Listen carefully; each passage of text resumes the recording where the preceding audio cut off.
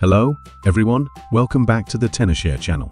I am pleased to announce that iOS 26 has been released, allowing us to explore more new features.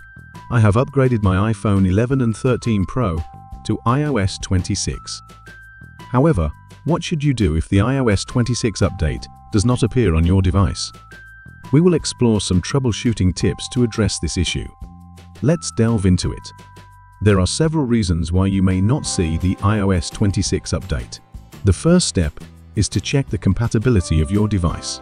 Here we see that iOS 26 only supports these versions of iPhone, as well as the corresponding iPad and Mac. If you are using an older device, you will not be able to see the iOS 26 update. At the same time, we see users reporting issues such as phone overheating and battery drain after the upgrade on Reddit so I do not recommend upgrading to iOS 26 for users with older version iPhones. Additionally, you need to change your beta version option to off and no longer accept beta version pushes. If these troubleshooting steps do not resolve the issue, you can try the following methods to easily solve the problem. Method 1. Adjust the internet settings. Before we jump to the solutions, ensure your internet connection is solid. Check if your Wi-Fi signal is stable. Even if it displays the icon, it might be too weak to process the update. If the Wi-Fi signal is weak, consider switching to mobile data, but ensure you have a sufficient data plan before doing so. If both Wi-Fi and mobile data are not successful, the next step is to reset the network settings. To do this, navigate to the Settings app, scroll down and select Transfer or Reset iPhone. Tap on Reset and then choose to reset the network settings. This action will refresh your network settings and address many connection issues.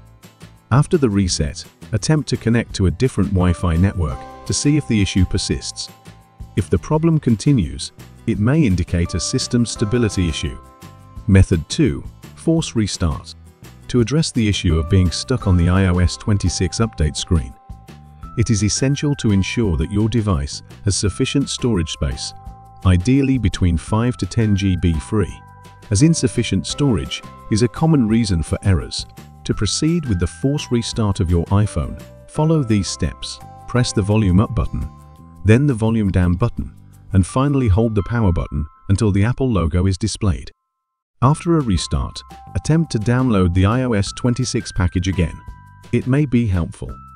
Method 3. Use iTunes for the iOS 26 update. If the problem persists, you need to use a computer to resolve the issue. If you have iTunes or Finder installed on your computer, you can use them to update your phone.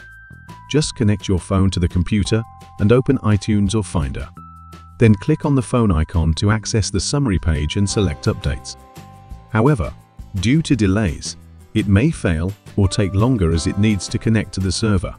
For a faster update, I highly recommend using ReiBoot. Method 4. Use ReiBoot Update iOS 26. If iTunes cannot resolve the issue, it might be necessary to perform a simpler and problem-free update. Introducing ReiBoot, a powerful tool designed to resolve various iOS issues, including upgrade and downgrade capabilities. Please follow the steps. Download and install ReiBoot on your computer. Connect your iPhone, select iOS upgrade, and choose upgrades. ReiBoot will automatically identify the latest iOS 26 release and the beta version. Then you need to download the corresponding firmware. After this, update your iPhone within minutes, without any further delays or complications, and enjoy the new features of iOS 26 immediately. If you are dissatisfied with the new iOS 26 system, or if it experiences issues such as battery drain, you can utilize ReiBoot to downgrade your phone. By simply clicking the downgrade button and downloading the appropriate firmware, you can downgrade your phone without errors. Just wait a few minutes. You can revert to a previous version, thereby enhancing your experience with a more stable system. By following these steps, you should be able to troubleshoot and access the new features of iOS 26. If you have any questions or need further assistance, please leave a comment below. Remember to like and subscribe for more tech tips and updates. See you in the next video.